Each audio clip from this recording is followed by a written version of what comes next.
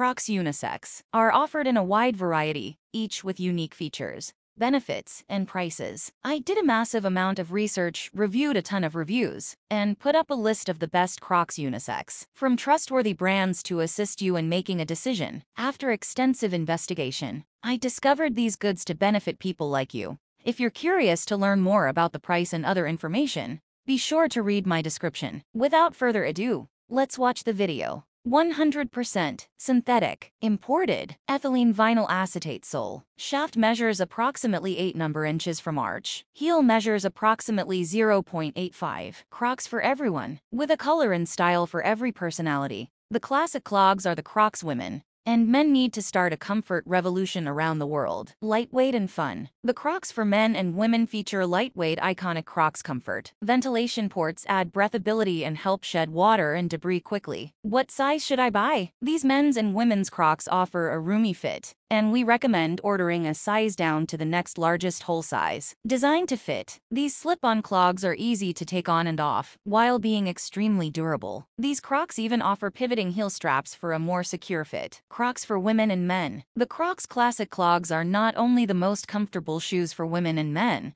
but also easy to clean just using soap and water, and allowing for a quick dry. If you're curious about Crocs, this review will answer your questions and help you decide if you should buy a pair. Crocs have officially made a comeback. I remember when Crocs first became popular in the late 2000s. Like Ugg boots, Crocs were immediately polarizing. And it's safe to say that they had more haters than lovers. Some people swore by their Crocs, but most people, including me, just didn't get the hype. They were huge, weird clogs that looked like a bizarre hybrid between sandals and water shoes. After a few years, the controversy wore off, and we all kind of forgot about Crocs. Well, it's been over a decade since their initial heyday, and Crocs are officially back thanks to the pandemic. They filled an increasing need for comfortable and versatile house shoes. Plus, people became less self-conscious about what they wore because of the lockdowns. But are these odd foam clogs really worth it? Or are they just another trend that will be forgotten? That's what I've been thinking about for the past several weeks